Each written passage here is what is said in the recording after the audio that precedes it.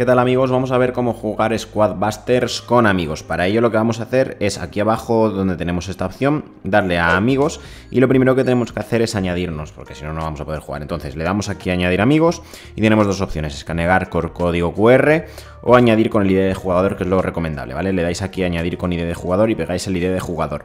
Ese ID de jugador vuestro amigo os lo tendrá que pasar, ¿vale? Que lo tendrá justo aquí, ¿vale? Donde dice tu ID de jugador, en mi caso pues sería este, Precious Technogamer. Entonces, añadir amigos, añadir con el ID del jugador, aquí pondría el, ID del jugador de mi amigo, y me saldría en este apartado de aquí. Y luego para jugar simplemente pues le daría aquí a jugar, formaría mi propio equipo y aquí podría invitar a mis amigos sin problema. Cualquier pregunta en comentarios, suscríbete al canal.